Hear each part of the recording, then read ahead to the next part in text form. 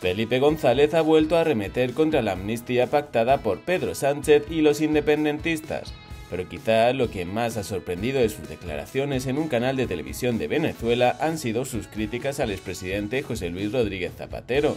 Sobre el papel del socialista en Venezuela, Felipe González ha dejado claro que está radicalmente en contra de lo que hace en el país bolivariano. Asegura que si alguien quiere pelear por la democracia, desde luego no le va a venir del apoyo del Grupo de Puebla ni de Zapatero. Felipe González lanza una dura crítica al expresidente socialista al afirmar que a Zapatero le parece mejor que gobierne ilegítimamente Maduro y que el país tenga 3 dólares mensuales de salario mínimo y que esté destruida la economía más rica de toda América Latina en lugar de tener elecciones libres y que gane quien el pueblo decida.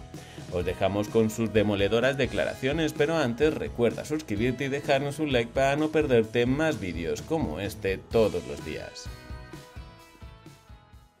Y yo digo a la propia oposición, le digo, no, si, si alguien quiere, oposición o no oposición, conseguir algo del régimen de Maduro, probablemente el interlocutor para conseguir algún que otro favor sea más el presidente Zapatero que yo.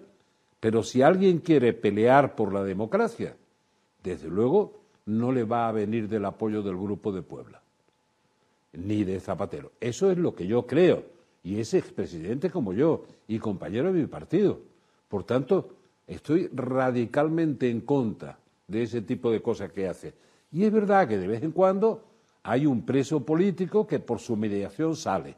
El último que salió es una contradicción en sus términos, porque fue el fundador del Servicio Bolivariano de Inteligencia, el creador de una cárcel horrenda como la tumba, este fue uno de los que liberó Maduro. ¿Lo, lo, ha liberado realmente por alguna razón política? Yo le digo sí, por una.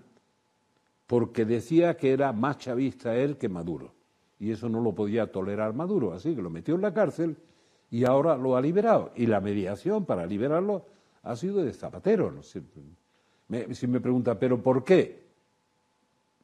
Porque le parecerá mejor que gobierne ilegítimamente Maduro, creo yo, y que el país tenga tres mil, eh, tres dólares mensuales de salario mínimo y que esté destruida la economía más rica de toda América Latina y le parecerá mejor eso que que haya unas elecciones libres y gane quien el pueblo decida que tiene que ganar.